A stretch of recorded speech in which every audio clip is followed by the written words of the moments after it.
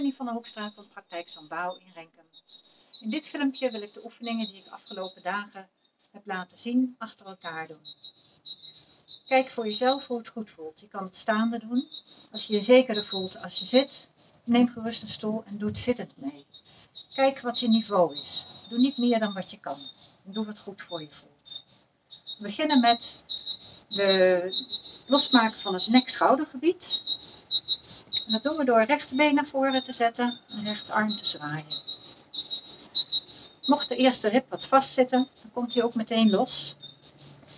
Dat heeft positieve invloed op het onwillekeurige zenuwstelsel.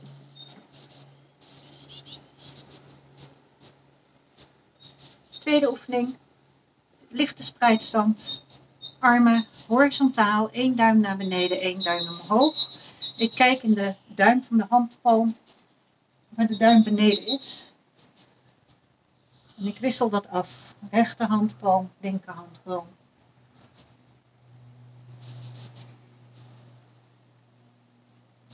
De volgende oefening is voor balans tussen de linker en rechter hersenhelft.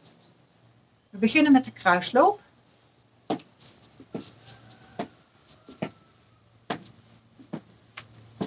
Dat kan je afwisselen met vingers naar de teen brengen, achterlangs naar de hiel.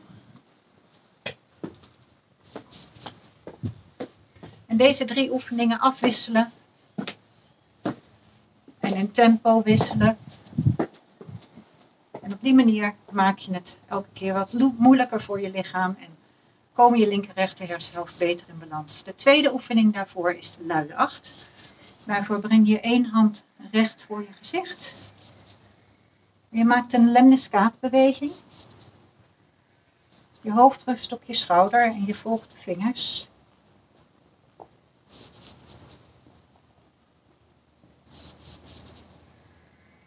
Dit doe je ook met de andere hand.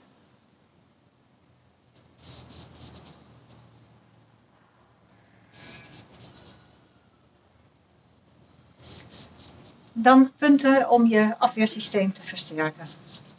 Het acupunctuurpunt long 1 kloppen. Links en rechts. Het kloppen van het midden van het borstbeen.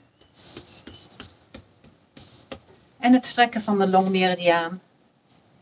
Handen in elkaar vouwen achter de rug.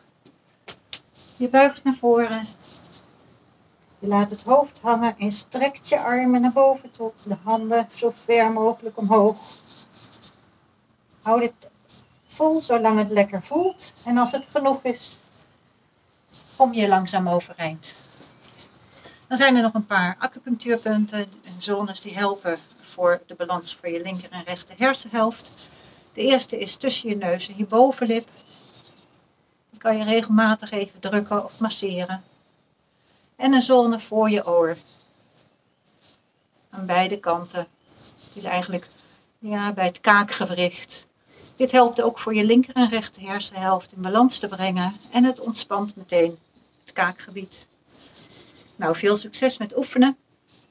En meer informatie kan je vinden op de website www.stambouw.info. Dankjewel voor het kijken.